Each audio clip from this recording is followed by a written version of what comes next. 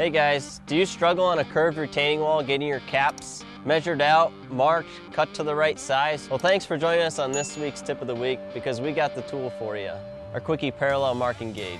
We're going to show you how to use this tool for cutting your caps, but this can also be used in other applications, whether it be your pavers fanning out or the coping around a pool. This same tool can be used for those applications as well. The parallel marking gauge is made to be fully adjustable all the way out to 11 inches, as well as we can make a full 13 inch depth mark. We'll jump in and show you how to do that. So here we want to show you how to actually use the parallel marking gauge. This is representing a curved wall and then your fixed caps that we need to then make the cuts. We got the lever up here where we can uh, loosen this up.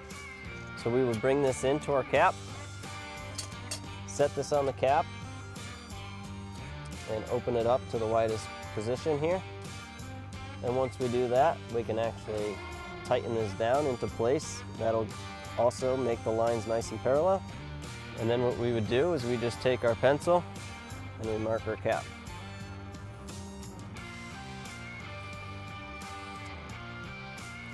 So now we have two equal lines on both sides that we can then use our saw cut the lines, and then this stone will slide into place nice and tight. The parallel marking gauge is a brand new tool. You can buy it at pavetool.com and it'll be shipping early 2025.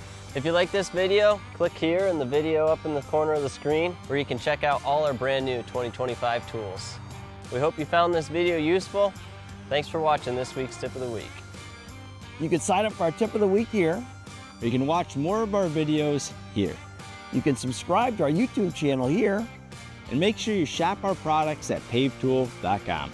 If you're located in Canada, you can shop at pavetool.ca. Have a great weekend. Thanks for watching. Looking forward to seeing you next Friday.